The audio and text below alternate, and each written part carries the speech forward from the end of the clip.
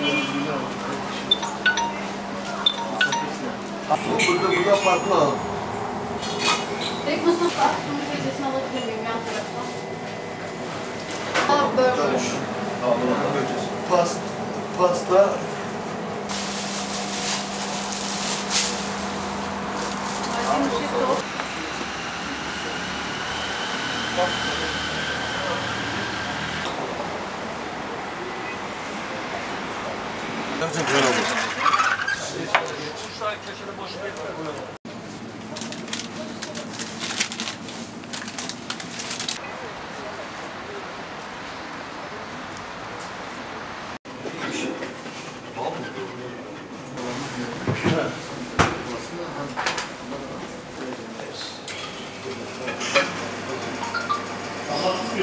Denetimler bizi daha hijyenleştirir. Denetimler bizi daha işimize daha iyi sarılmamızı, daha temiz, Urfa'ya yakışır.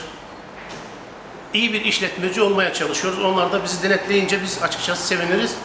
Bu denetimlerin de sürmesi ve kendimize biraz daha çeki düzen vermemizi sağlayacaktır. Sayın e, Can Polat'a da çok teşekkür ediyorum. Belediye Başkanımız ve ekibine. Bizi bugün denetledikleri için teşekkür ediyorum.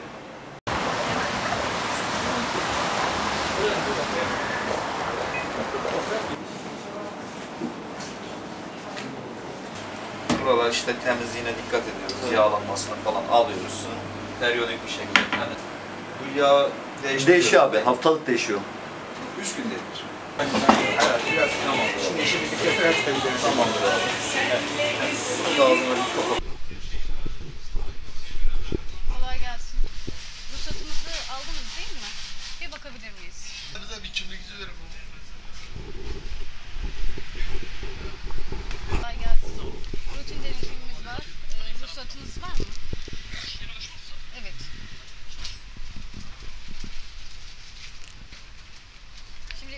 iş yeri yönetmeliğinin 11. maddesine göre duvara asmak zorundasınız.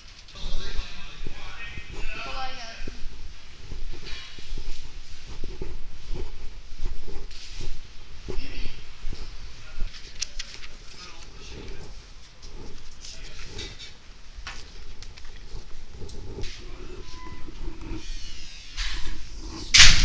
Gerekiyor. Üstünün açık olması gerekiyor.